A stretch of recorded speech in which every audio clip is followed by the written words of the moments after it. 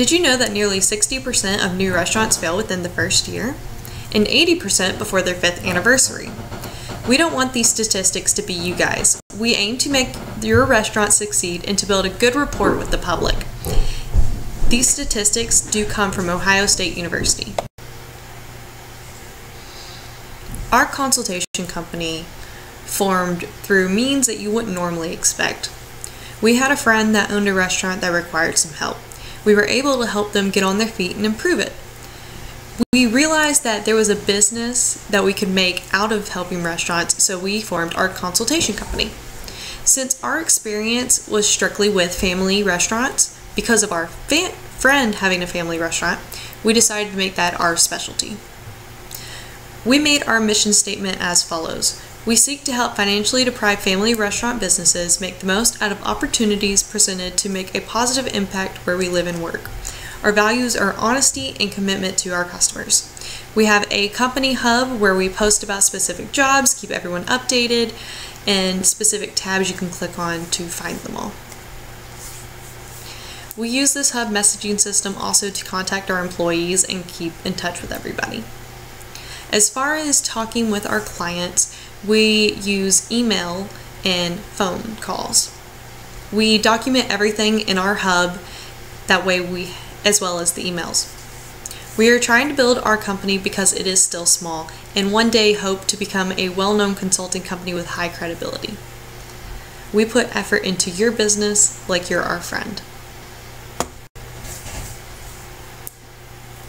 My name is Mackenzie Waters, and I am one of the founders of Next Step. My personal experience involves my family restaurant. I am not the owner, but I have taken part in the inner workings and marketing of that business. Our restaurant makes you feel like family, and we have a good rapport with the citizens of the town. I have been in the position of building a restaurant from the ground up. I have seen the struggles my family has gone through to continue to have the restaurant be profitable. I have learned much from them. This image of our restaurant has been the most important and has kept us going. My sociology department does well with communication, but it can always be better. When communicating with students through social media, they use too much text. They always have pictures, but they are filled with text. This discourages the reader from reading the post. They need to use less text in their pictures, which allows the post to be accompanied by the picture and not a continuation of the text. My experience within this industry and with communication tools through my department can help further your business to make the best of the opportunities presented. A large part of helping a restaurant grow is looking at the reviews. Reviews are left on places like Google, Yelp, and similar review sites. Today we are reviewing Henry's Louisiana Grill in Acworth, Georgia.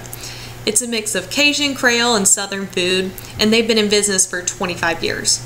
They are best known for their crawfish races in September. They do have competitors, though, like the Center Street Tavern and Pizza by Focos. Looking at the reviews for Henry's Louisiana Grill has provided some positive and negative feedback. Two positive feedbacks were that they have great quality food and their owner is there most evenings to greet patrons, which is amazing. But there are some negatives to that as well.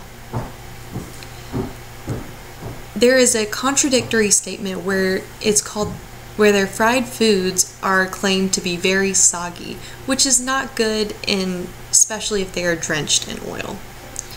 And the second one is that they have little to no COVID family protocols evident. When COVID happened, families still wanted to be able to participate, but if there were no protocols, they weren't allowed to, and it was one of the setbacks they had. These are not all the positive and negative reviews the restaurant has received. They are also praised for their menu variety, specifically citing gluten free menu options as well as having attentive servers. Some of the negative reviews were that they were not very family friendly, as the family had to carry their car seats upstairs, and that the atmosphere was too loud. The family could not hear each other's conversations.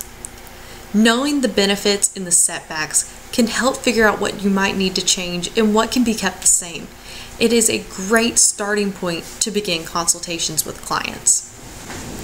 Center Street Tavern is one of their competitors, and they also have a small amount of parking. If we can fix this for Henry's Louisiana Grill, they can come out above their competition. Based on the reviews, we find opportunities for improvement. Two of these are their menu variety and safety protocols.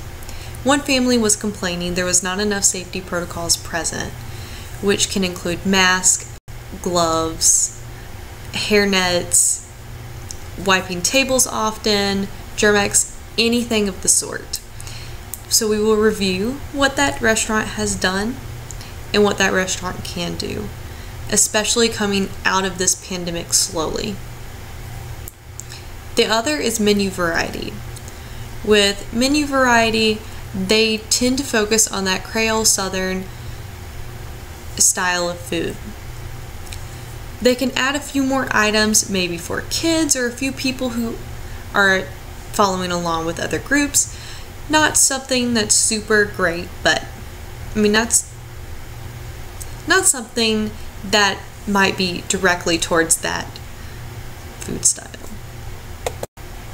Another opportunity for improvement is improving the quality of customer service. Whether this be attentiveness, cleanliness, um, hiring more workers, because sometimes that can honestly be the cause, or just having someone go around asking. Either way, this is something that we need to discuss.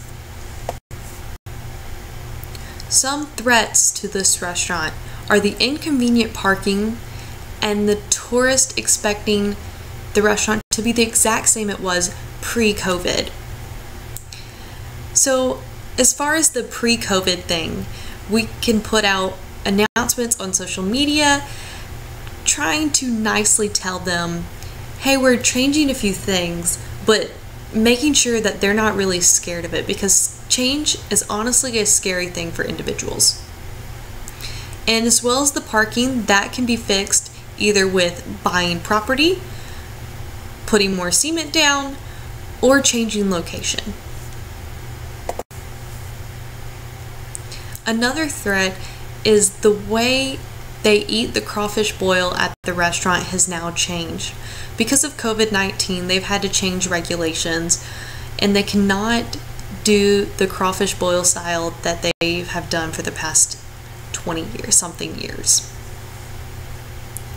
This is all for quality and care and concern for the individuals.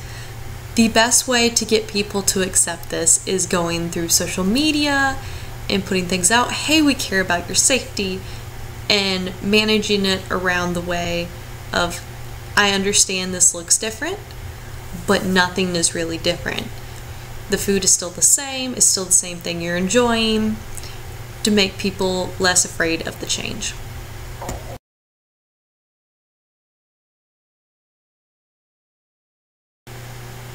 In conclusion, managing a restaurant's reviews will help make the restaurant the best it can be, and this should be done periodically.